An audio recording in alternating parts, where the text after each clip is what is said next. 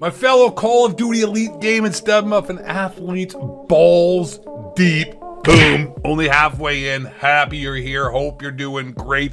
And we got Bobby Jerkoff here. Bobby Pop Off. Bobby Poff. With a name like that, I'm changing that. It sounds like a fucking nerd name, but it fits the character because this guy got busted, if you don't know a few days ago. I believe it was yesterday and the day before. Doesn't matter. It was in the last two days. He got busted live, permanently banned live while streaming Call of Duty Warzone.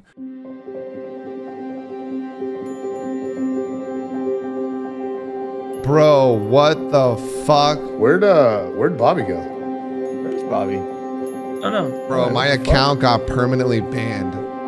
What? Dude, I swear to God, what the fuck?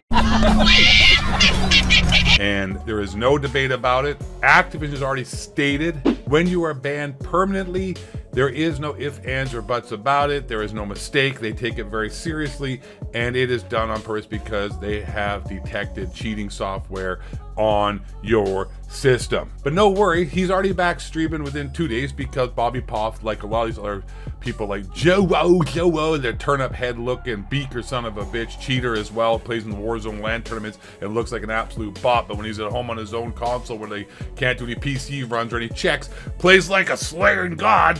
All these guys are nothing more than just branches of the Activision advertising mechanism, I guess you could say. They make the game look good. They allow them to cheat. They allow them to get easy bot lobbies. They have them on the white list. As Bobby Pop already mentioned, he was in the whitelist. How is what the fuck? I thought I was whitelisted. But now, once again, he's back streaming because they need him to advertise Black Ops 6 and get all the dumb kids out there who are high on G Fuel, rotting their brain with cancer drinks and fucking TikToks to buy Black Ops 6 but he's got a new account.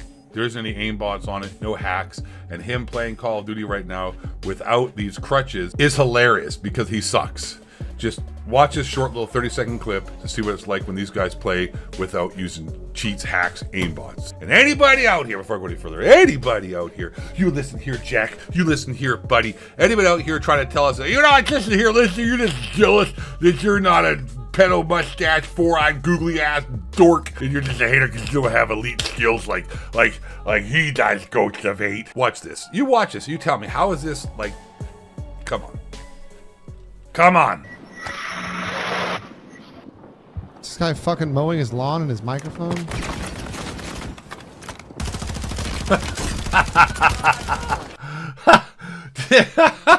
Holy jeez, did you see that? It was like he got cerebral palsy all of a second, was trying to play like he was Michael J. Fox. Like, ah, ah, ah, ah.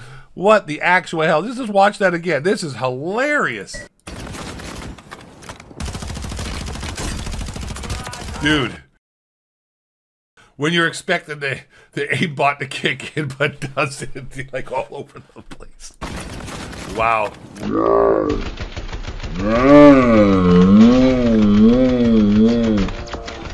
That guy's got worse aim than Nadia when she would uh, try to play without her aimbot wall hacks, man. So I don't know what to say about that, dudes. If you're looking at this and you see the massive difference between playing before he got banned and then seeing how he plays after he got banned and trying to play on a new account without what seems to be uh, certain types of aids and crutches, i.e., aimbot apparently there. Um, it's it's crazy. It's not even the same dude. He's playing worse than my wife does, and uh, she can't even drive because she's Asian, let alone play a video game called Call of Duty Warzone. Hey, that's the video. Ghost of Eight. Hope you enjoyed it. Know you enjoyed it. So hit the like button, subscribe, or otherwise you're a loser like this Bobby Pop here, cheating son of a bitch, four-eyed pedo stash wearing, hanging out by the doctor's respect and girl girls' bathrooms, looking to freaking hook up. And last and least, most importantly, stay black. Questions thrown the target. White men bring it down. Please.